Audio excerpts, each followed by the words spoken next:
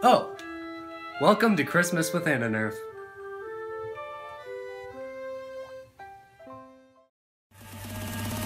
You always make me go.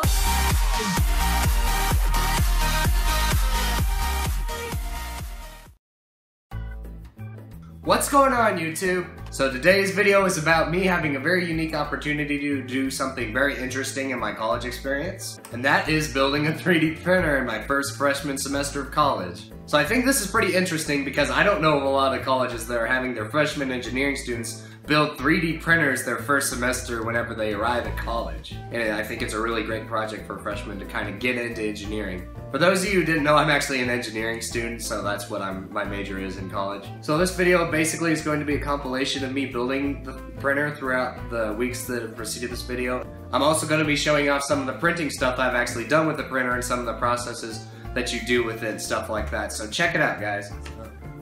Hey guys, AniNerf here, and I just wanted to say that I got all the rest of the parts for my 3D printer that the school is requiring me to build. Requiring, I say that very lightly. But before I had all this stuff, I had to deal with all this little itty bitty nitty gritty wiry stuff.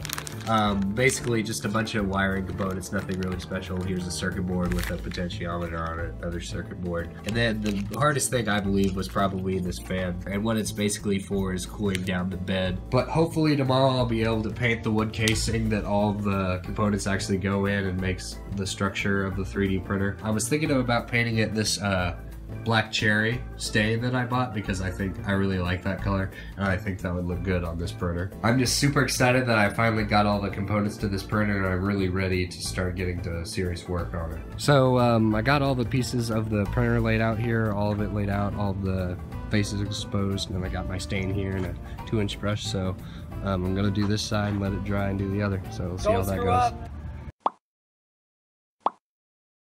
Boy, if you don't get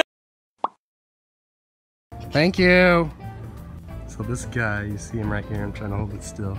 You see him back there. He's got he's got a bubble blower in his hand and a gallon of bubbles. And we, we asked him, "Are you about to go have some fun?" He's like, "Yeah, it's just one of those bubble blowing kind of days." What a legend! Just just look all the bubbles. He's just sitting in that Eno. That makes me so happy. All right, guys. So I got all the other sides painted. Now I'm gonna let it dry, and we'll be done. Alright guys, so I put it all together and got basically all the electronics there that you see in the bottom right installed. So now it's got the LCD screen, and these switches I believe control uh, the LEDs, the LED strip, and then the fan. And this is the potenti the potentiometer adjusts the speed of the fan with this little dial. And then here, this is for the menu select over here. So now the next step is just to start adding the motors in there and keep working.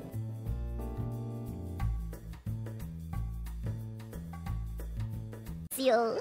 そんでうまいと言って締めくくるんです。ふん。それじゃあ一つ。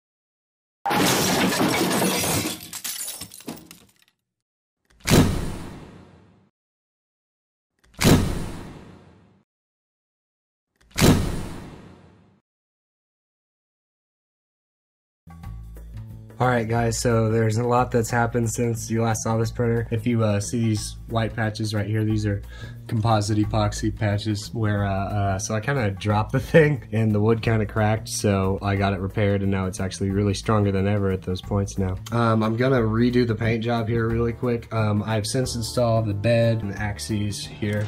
Uh, uh, this is the y-axis, this is the x-axis. None of the stuff is hooked up, obviously, all the wires are still loose. That will eventually hook up to the motherboard, hopefully. This thing's really coming together, and in the next few weeks, it'll hopefully be printing stuff. So uh, I'll let you see it when it's got the new paint job. All right, guys, so I got the paint job done. Um, as you can see, uh, it's themed after a certain uh, figure that I have standing here. This is Ryuko from Kill Kill, for those of you who did not know. I kind of themed this to look like Senketsu, which is this outfit she's wearing. Um, I gave put the eye on this first patch, and then on the second I did the one that is uh, blindfolded shut. So I think it looks pretty good. I also did the life fiber kind of design here with all these lines. Um, they're actually straight with each other, so that even when there's gaps, they're straight with each other. I did that on all the sides, including the back. I also painted the edges here with some of that blue color, like this blue color. Painted all the edges with that. And it's actually looking a lot better than it was before, and I'm actually really, really pleased with it. I finished the paint job, and all that I have to do left is add some more hardware, and then this thing will be printing. So guys, here it is in all its glory. Um, I got it printing yesterday. Um, currently it's printing a mold uh, uh, print that I'll show you guys in a minute. Um, I got my filament running up here, so basically it just pulls it off and into the extruder. This is the extruder right here. And then here we are printing a clone trooper. And this is not supposed to be like this. You see this white part? This white part is supposed to look like this red part. It's supposed to be a wall. However, at the very beginning it snapped. And I it was up to like here, and up to here took an hour to print and so I did not want to waste that and I, I've babied it along all the way. I put this under it and it's actually kind of working and it's not going to make my print not work. And I'm like actually super super happy with this print because it's actually really large and it's printing really well. I've been printing a lot and experimenting around. I will be printing a lot more in the future. I don't know what I'll be printing but I imagine a lot. I really want to print some of the like full-size RWBY weapons and that may be coming eventually. I'll do that in sections. We'll just have to see where it goes. So also i forgot to mention that i printed this off. This is the crescent rose from RWBY obviously. Um, it's freaking awesome. Um, it's very thin very fragile. All this white stuff is that dissolvable stuff i was telling you all about. Uh, i also printed the scissor blade from Kill la Kill. It's just a little thing i printed and thought it was fun. So yeah this thing's working like a charm. Just yeah cool stuff man. I got my own 3d printer. I'm a freshman in college and it's great. So guys after all of that he's survived and he looks awesome. Because I did not think my printer was going to be able to handle this but it's really really good. Even though we had some complication with the support material I peeled back a little bit there. I mean look at that leg. It's such high quality stuff. Details lots of details. Didn't do an awesome job on the hat the head. You can't really tell but his face is the correct shape. Um I just gotta peel all this stuff back whenever I get my chemical so that I can do that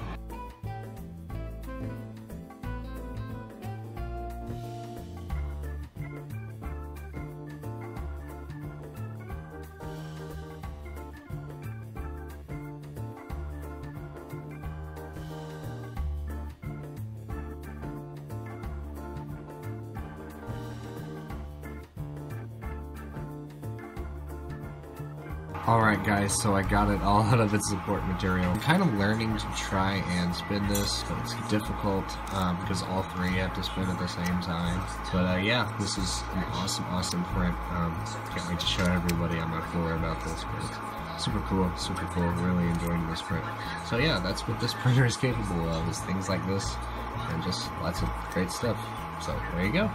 So that has been my experience with building and printing with the 3D printer, my own personal 3D printer, which is really, really awesome. I don't know what I'm going to be doing with this thing in the future, just printing for my own personal use, but also I had a few ideas about the YouTube videos and how I could involve the 3D printing with my YouTube. Maybe y'all could suggest me some things to print in the comments or something like that, and then the print would be featured in the video. Maybe I could do giveaways for some cool 3D prints or some 3D filament. Who knows if you guys have 3D printers? Let me know. Just let me know what you want to see me do with this 3D printer down in the comments. If you have any suggestions at all, just leave them down below. I'll be sure to read them. I'm sure I'll read them and probably even reply to you. I'm very open to suggestions, so just leave them down and I'll get back to you. So I hope this video was a nerf for you. I hope you have an amazing day. Bye, guys.